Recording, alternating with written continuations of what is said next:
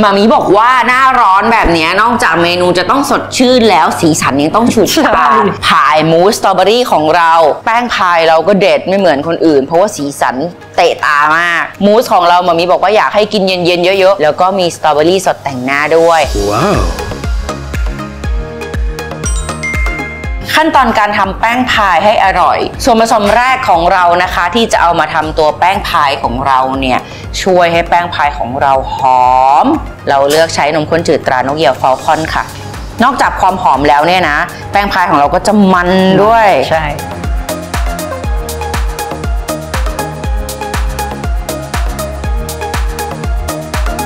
เพิ่มรสหวานมันให้กับตัวแป้งพายของเราด้วยครีมเทียมข้นหวานตรานกเหยี่ยวฟอลคอนนะคะ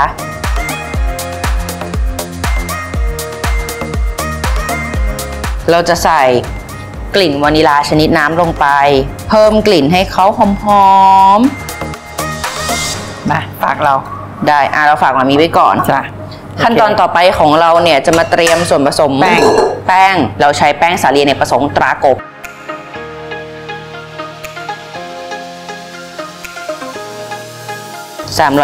350 กรัม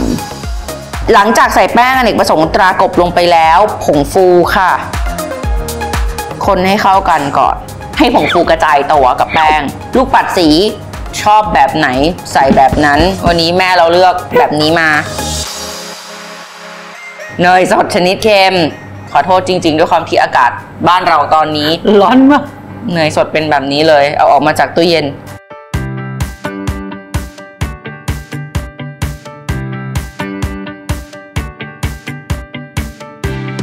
ตีแป้งพายร่วนใช้หัวตีรูปใบไม้ แล้วก็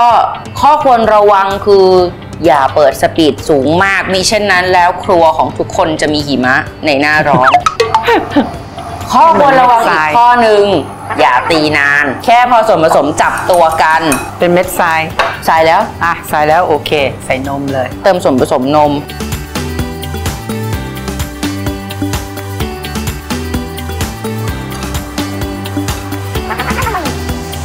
ค่พอเข้ากันพอแล้วนะ ปิดเปิดสปีดแรงแป๊บนึงโอเค ส่วนผสมเข้ากันแล้ว มันเหลวค่ะ แต่ว่าเดี๋ยวเราเอาออกมา ใส่ถุงพลาสติก ทิ้งไว้ข้ามคืนหนึ่งคืน เขาก็จะแห้งมากขึ้นอ้าวคลุกแป้งแล้วหมามีเป็นคนรีดเนาะไม่เป็นไร เราหยิบแป้งให้เธอ โอเค รีดแล้วลูก แป้งพายตัวนี้เป็นแป้งพายที่เราทำทิ้งไว้หนึ่งคืน จะสังเกตว่าแป้งเขาแห้งขึ้น เวลาคลึงอย่าคลึงถึงจบอืม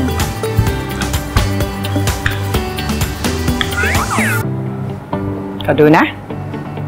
โอ้ enough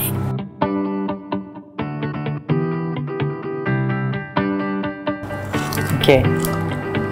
ทุกคนจะเห็นว่าขั้นตอนนี้ดูเหมือนง่ายนะคะ แต่เราไม่ทำเองเลย เมื่อเป็นพิมพ์กลมใหญ่แล้ว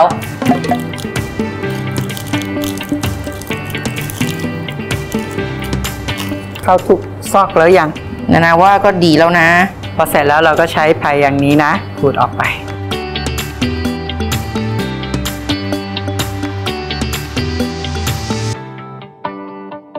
จากนั้นวางลงไปบนถาดนะคะ โอเคเอาซ่อมก่อนที่จะอบกดเป็นแบบนี้เพื่อที่ว่าเวลาอากาศร้อนๆเนี่ยลมร้อนๆดันขึ้นมาตอนอบเนี่ย ตัวพายของเราจะไม่ไม่มีปัญหา อ่า ไม่นุนขึ้นมา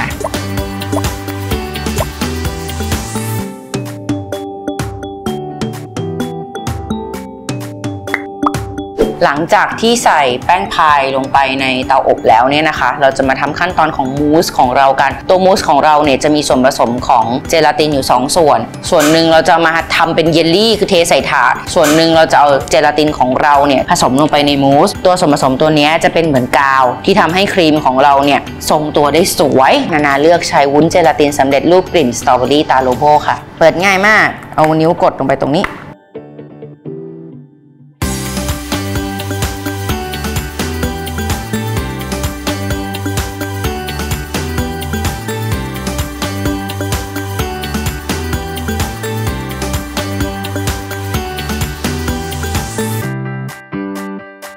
ถ้วยหนึ่งเดี๋ยวมาละลายแล้วใช่ไหมเราก็ใส่ลงไปที่ถาดนี้อันไหนนะละลายแล้วอันนี้เหรออ่าแต่เดี๋ยวแป๊บหนึ่งยังยังจมอยู่อีกถ้วยหนึ่งนี้ เดี๋ยวมาเราปล่อยให้เขาเย็นนะ เดี๋ยวมาใส่ลงไปกับมูส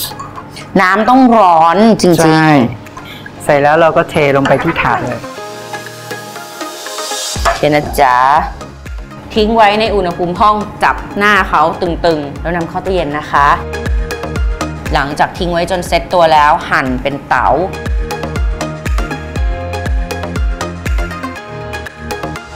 มูสของเราเนี่ยนะคะจะหวานมันเราเลือกใช้ครีมเทียมข้นหวานตรานกเหยี่ยวฟอลคอนค่ะ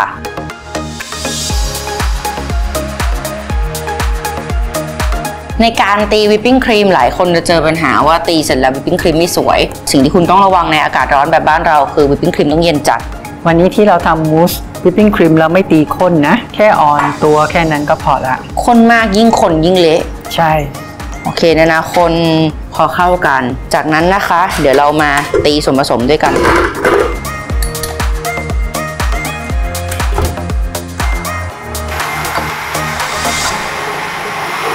สปีดแรงเลยนะ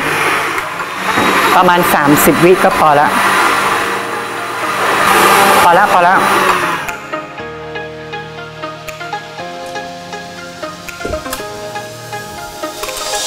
วิธีการดูว่าเขาใช้ได้แล้วนะคะ เราต้องการที่เป็นครีมแบบนี้อะทุกอย่างเย็นแล้ว ใส่กลิ่นสตรอเบอรี่ลงไป เพิ่มกลิ่นให้หอมยิ่งขึ้น จากนั้นหมามีบอกว่าอยากให้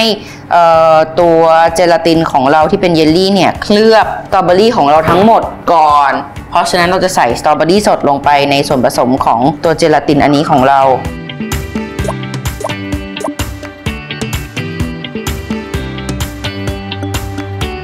จากนั้นเยลลี่ของเรานะคะ ที่ทำเตรียมไว้ใส่ลงไปเลย อะหมามีตะล่อมอืมจากนั้นนานาจะเทส่วนผสมเนี้ย ลงไปในนี้ หมดเลยนะ ค่ะ หมดแล้วค่ะ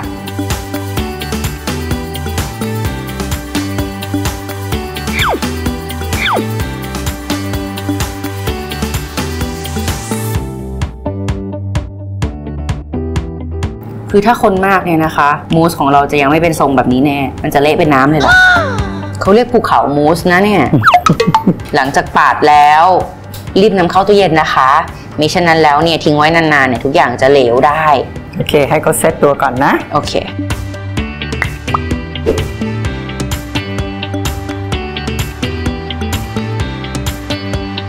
นอกเหนือจากสตรอเบอรี่สดแล้วหมามีเตรียมไว้ช็อกโกแลตขูดขาวไว้ให้เราด้วย เพิ่มสีเขียวนิดนึงนะ ด้วยใบสะระแหน่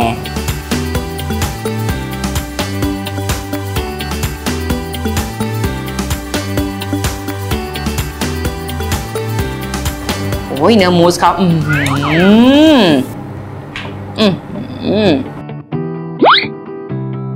เราคาดหวังว่ามันต้องหวานอะแต่พอกินเสร็จเราเปรี้ยวอะรู้สึกดีนะ พอรู้สึกว่าร้อนๆเจอแบบนี้มันสดชื่น ที่สำคัญเนี่ยมูสเนี่ยถ้าแช่เย็นจัดๆเนี่ยอร่อยเหลือเกิน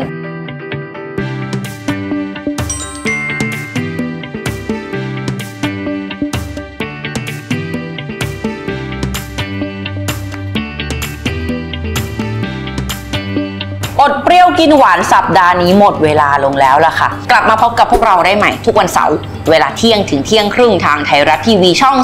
32 วันนี้นานาและอาจารย์เมย์เป็นตัวแทนของรายการอดเปรี้ยวกินหวานบอกสวัสดีจ้า อาหารอร่อยขนมอร่อยเครื่องดื่มดีๆ มาที่นี่ได้เลยนะฮะ The Blooming Gallery นะครับ ขายชิ้นหลายร้อย คนขายสวยคุณผู้ชม เนยๆ กาแฟจางๆ รับรองอร่อยชัวร์ค่ะ